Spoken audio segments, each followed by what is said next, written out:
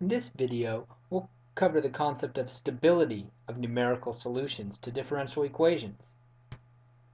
After studying this video, you should be able to identify whether a numerical solution is stable or unstable, and describe some of the factors that can affect the stability of a numerical solution. Recall that the error in a numerical solution to an initial value problem will grow with time as the local truncation error accumulates with each time step. So this is a review of the Euler's method video. But recall as we go forward in time from some y naught, we'll use the slope at y naught to predict y1, and use the slope at y1 to predict y2, and the slope at y2 to predict y3, and so on as we move forward in time.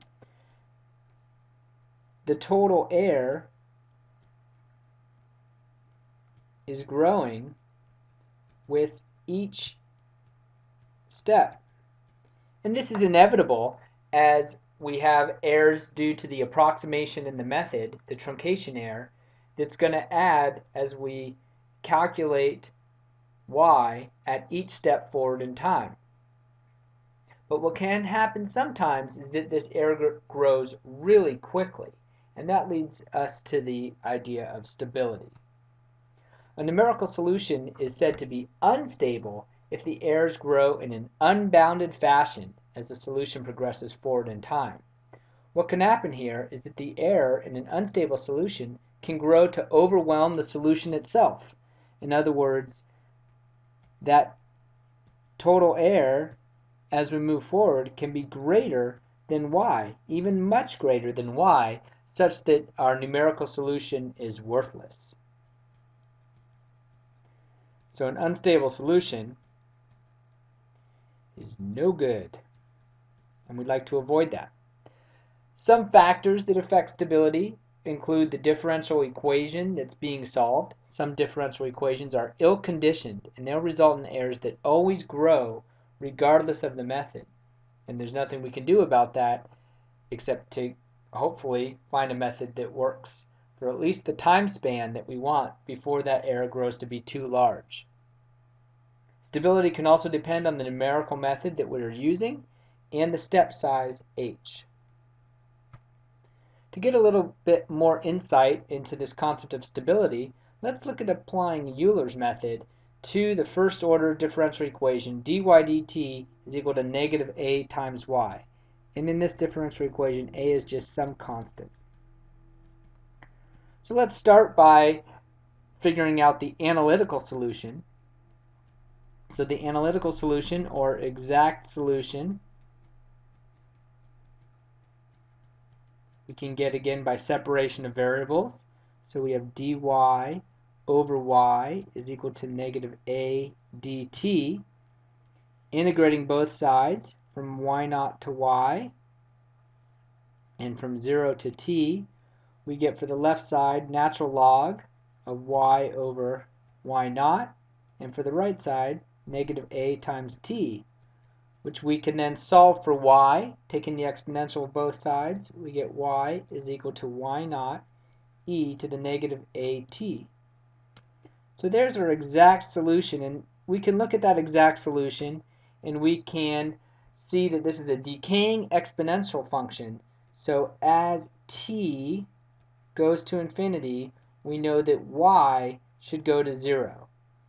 So as far as the differential equation itself, a solution uh, is inherently stable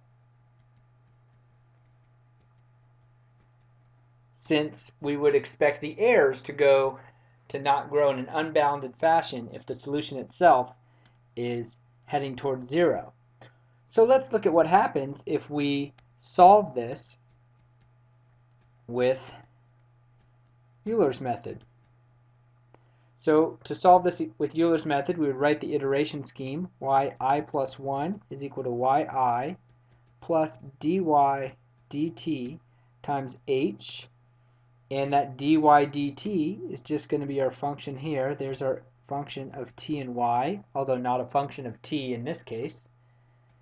So we get y i plus 1 is equal to yi plus negative a times yi times h, or yi times 1 minus ah.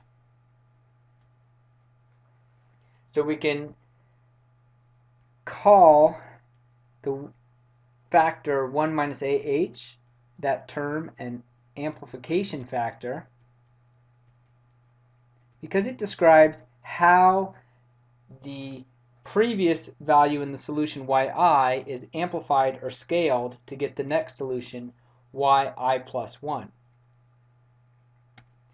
For a stable solution,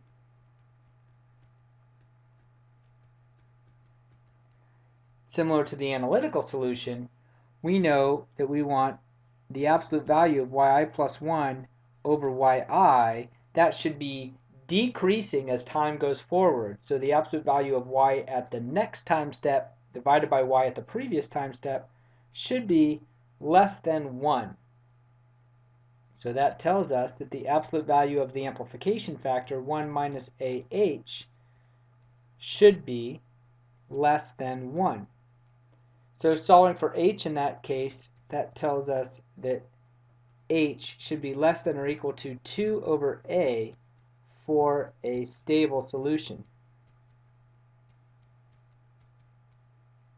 So in other words, this gives us a criterion on the step size to make sure we have a solution that doesn't have errors growing in an unbounded fashion with time. If h was greater than 2 over a, then yi plus 1 would be greater than yi, and our solution would, our numerical solution would be growing in time, and that would be because of the errors, as opposed to a solution that is decreasing with time, as we know from our analytical solution, that that should be decreasing with time. So we would say that for this differential equation, Euler's method is stable, conditionally stable,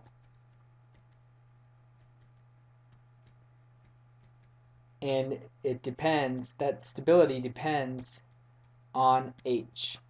So let's look at this in a little bit more detail. So just because it's stable doesn't mean it's accurate. So here we'll look at the same differential equation but now with a equal to 5 and I have a graph here showing the analytical solution y is equal to e to the negative 5x y naught is equal to 1. And let's look at solving this um, by hand with Euler's method and a variety of step sizes. So let's start by taking h is equal to 0.1. So at h equals 0.1, we get yi plus 1 is equal to yi times 1 minus 0.5, or 5 times 0.1, or yi plus 1 is equal to yi over 2. So we can look at what that solution looks like. We do see that y will be decreasing with each step. And the first step will just go at that initial slope down to y over 2, or 0.5. The next step will go to 0.25. The next step will go to 0.125, and so on. And we do see a numerical solution that's stable and approaching zero, decaying exactly like the analytical solution. That said, we do have errors. So it's not necessarily accurate and we know from previous discussion that we could increase the accuracy by reducing the step size h or by going to a more accurate method that we will talk about um, a variety of more accurate methods in future videos. But here we just want to look at how does the stability depend on the step size. So for h equals 0.1, we get a numerical solution that reflects the decaying behavior of the analytical solution, um, and it is stable. Now let's try a solution for h equals 0.2. So for h equals 0.2, we have yi plus 1 is equal to yi times 1 minus, now 5 times 0.2 is just going to be 1. Or yi plus 1 is equal to 0. So for h equals 0.2, we get a numerical solution that goes from y naught equals 1 directly to y1 equals 0, and then it will stay at 0 going forward in time. So here again, with the green solution, we have a stable solution, but not so accurate. But it does, that solution does still represent a solution that reflects the characteristics of the analytical solution, notably that it decays as we go forward in time and it approaches zero as time approaches infinity. So let's go one more step. h equals 0.3. If h equals 0.3, we get y i plus 1 is equal to yi times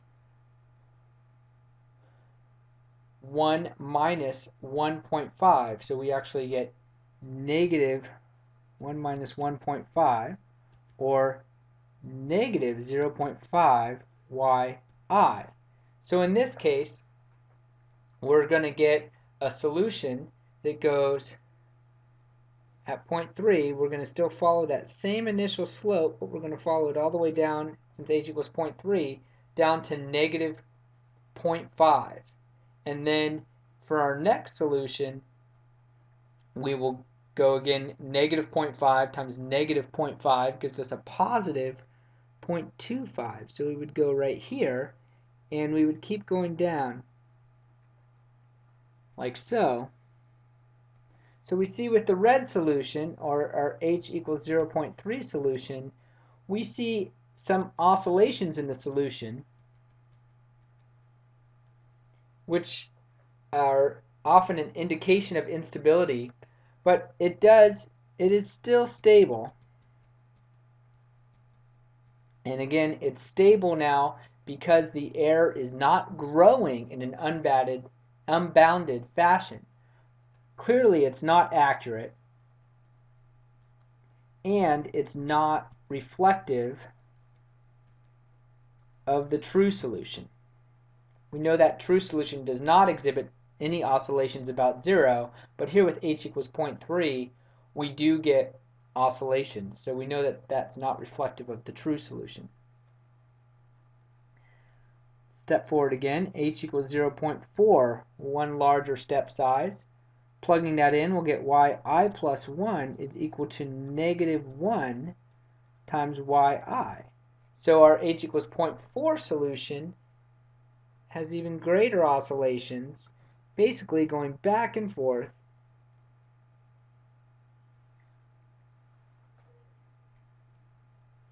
between 1 and negative 1. So again, the error is not growing in time. So for h equals 0.4, we would again say it's stable, but definitely not accurate. And the shape of the numerical solution is not reflective of the exact solution. So finally, let's go to h equals 0.5, and at h equals 0.5, we get yi plus 1 is equal to negative 1.5 times yi. Now note here, h equals 0.4. Remember our stability criterion was that we wanted h to be less than or equal to 2 over a, or h less than or equal to 2 over 5 or h less than or equal to 0.4, which is 2 over 5.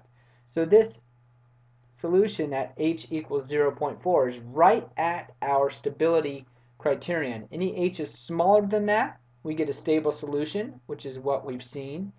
So an h larger than that, we would expect an unstable solution. And we see that's what we get. You can look here and you can see with each successive time step, yi plus 1 is getting larger. And so this is going to look like we're going to take that all the way down to negative 1.5 and as we go back up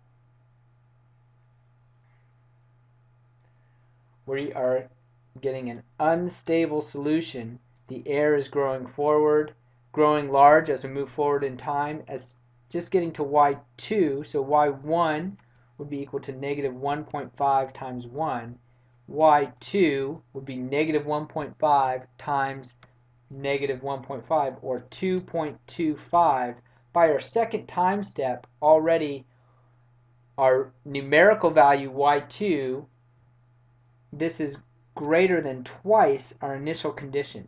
So it's growing, this would be unbounded growth of the error in a way that the error now in the solution is overwhelming the solution itself. So again, that H equals 0.5 case, that's going to be our unstable case, and any larger values of H are just going to make this even worse. So we'll come back to this concept of stability several times as we move forward in our study of differential equation solvers. Uh, it's not always this easy to kind of analyze how a method's going to behave because as we look at more complex methods, we won't be able to solve them by hand. However, the same general concept applies where a lot of methods are stable condition conditional on the step size and that's what this example illustrates.